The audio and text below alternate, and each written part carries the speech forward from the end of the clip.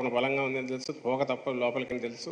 దాని ground prepare చేసుకుంటూనే ఈ మధ్య రెండు రోజులు మూడు రోజులు నన్ను అరెస్ట్ చేస్తారు అని కొడుతున్నారు.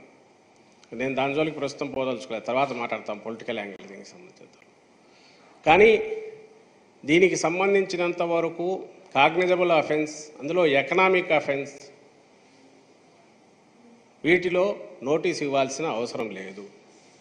ఇది స్పష్టమైన సెటిల్డ్ మ్యాటర్ లీగల్లీ. రెండవది ఎఫ్ఐఆర్లో లేకపోవడం కూడా నన్ను తీసుకున్నారంటే అది ఎవరిని దబాయించడానికి చంద్రబాబు అయినా? నాకు అర్థం కావట్లా? అసలు ఎఫ్ఐఆర్ ఎఫ్ఐఆర్ అంటే ప్రాథమికంగా ఉన్న ఓ రిపోర్టు. ఏదైనా నేరానికి సంబంధించి తెలియగానే ఫస్ట్ ప్రాథమిక రిపోర్టు దాని పేరే అది ఫస్ట్ ఇన్ఫర్మేషన్ రిపోర్ట్. ఎవరిని దబాయిస్తావు? ఎఫ్ఐఆర్ ఫైల్ అయినప్పటికే రెండు వేల నాకు తెలిసి రెండు వేల పదిహేడులోనే రెండు వేల పదిహేడు పద్దెనిమిదిలోనే GST director general GST intelligence central government agency Pune వాళ్ళ ఇన్వెస్టిగేషన్లో రెండు వంద దీనికి సంబంధించి నువ్వు రిలీజ్ చేసిన నీ ప్రభుత్వం అంటే చంద్రబాబు నాయుడు ప్రభుత్వం అన్యాయ అక్రమంగా రిలీజ్ చేసిన మూడు వందల డెబ్బై కోట్లలో రెండు వందల నలభై ఒక్క కోట్లు డైవర్ట్ అయింది. అది షెల్ కంపెనీస్ ద్వారా పోయింది. వాళ్ళు ఏదో టీడీఎస్ దీంట్లో పట్టుకున్నట్టున్నారు ఎక్కడో. పట్టుకుని అక్కడి నుంచి వాళ్ళు ఇన్వెస్టిగేట్ చేసి ఆ రోజే ఇచ్చారు రిపోర్టు. ఎఫ్ఐఆర్ ఫైల్ చేసేటప్పటికీ దర్యాప్తు చేయకుండా జనరల్గా అందరికీ తెలిసిన విషయం. చంద్రబాబు హైయెస్ట్ లెవెల్లో ఇన్వాల్వ్ అయ్యి జరిగిందని మీడియాతో సహా అందరికీ తెలుసు.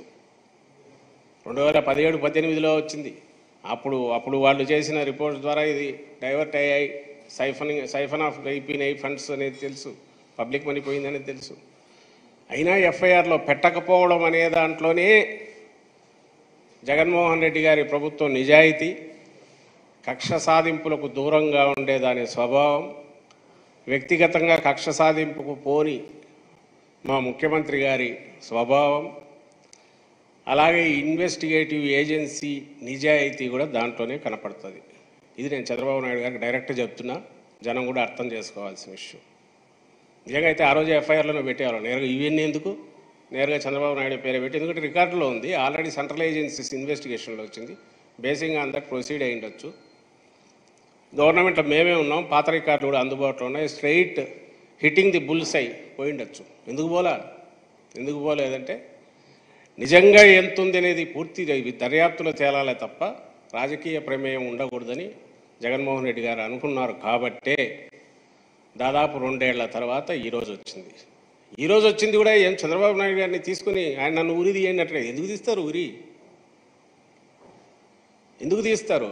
అయ్యా నీ దగ్గర నువ్వు నువ్వే ప్లాన్ చేసావు నీ దగ్గరే ఏదో జరిగిందని ఇదిగో ఈ ఆరోపణలు ఈ ఆధారాలు బట్టి వచ్చింది. దీనికి మీరు సమాధానం ఏమని అడుగుతారు? సమాధానం ఇచ్చేసి బయటకు వెళ్ళిపో. కోర్టు అది ఆఖరికి పోయేది కోర్టు ముందుకు పోతుంది. కోర్టు డిసైడ్ చేస్తుంది. అక్కడ అక్కడ ఏం జరుగుతుంది అనే దాన్ని బట్టి కేసు ఇది అవుతుంది. కేవలం నీ రాజకీయ పరమైన దీనిలో నీ పొజిషన్ యూజ్ చేసుకుని నువ్వు దబాయించి నువ్వు చేసిన తప్పుల నుంచి చంద్రబాబు నాయుడు బయటపడాలని చూస్తే అది కుదరదు. ఆ రోజులు అయిపోయినాయి. ఎంతకాలం అని దీని నుంచి ఇట్లా తప్పించుకుని పోతాడు?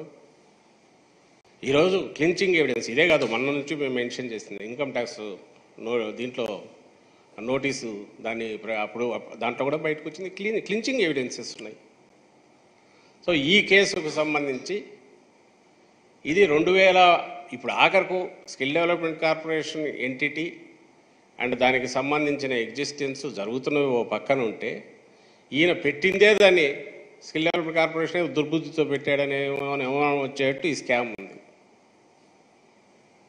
దీనికి సంబంధించినంత వరకు ఈ మొత్తం what is the scam about అని దాంట్లోకి పోతే రెండు వేల పదిహేను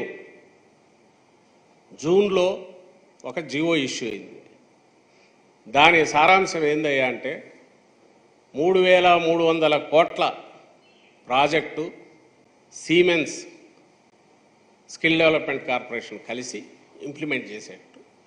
ఈ మూడు వేల మూడు వందల కోట్ల ప్రాజెక్ట్ వచ్చి స్కిల్ రిలేటెడ్ ఎక్విప్మెంట్ అంతా డిప్లాయ్ చేస్తారో దాని డీటెయిల్స్ కూడా లేవు కానీ ఈ ప్రాజెక్ట్లో ninety percent grant in aid from Siemens company. Ten percent వాళ్ళు పెట్టిన తర్వాత గవర్నమెంట్ నుంచి దీని వైపు నుంచి సపోర్ట్ స్టేట్ గవర్నమెంట్ నుంచి. ఇది ఒరిజినల్ వాళ్ళు అన్నది grant in aid from Siemens ninety percent of three thousand three hundred crore. ఎంత అనేది మీరు వర్కౌట్ చేసుకోవచ్చు ఇది జియోలో వచ్చింది.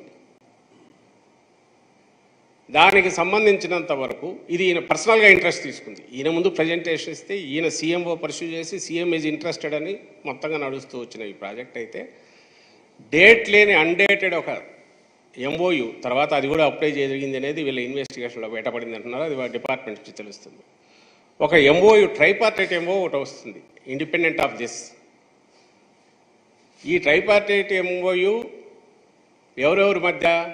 AP skill development corporation Siemens and design tech అనే కంపెనీల మధ్య. దాంట్లో ఏమొచ్చింది? ఇది పోయింది. ఈ ముందు చెప్పింది ఎక్కడా ప్రస్తావన లేదు. In continuation of that GO కానీ ఫాలోయింగ్ దట్ జియో కానీ దాన్ని దాన్ని బట్టి దీన్ని తీసుకుంటున్నాము అని కానీ అది లేదు. ఇందులో స్ట్రైట్గా ఈ three seventy one crores grant need from government of Andhra Pradesh అని దీంట్లో రాసుకున్నాం.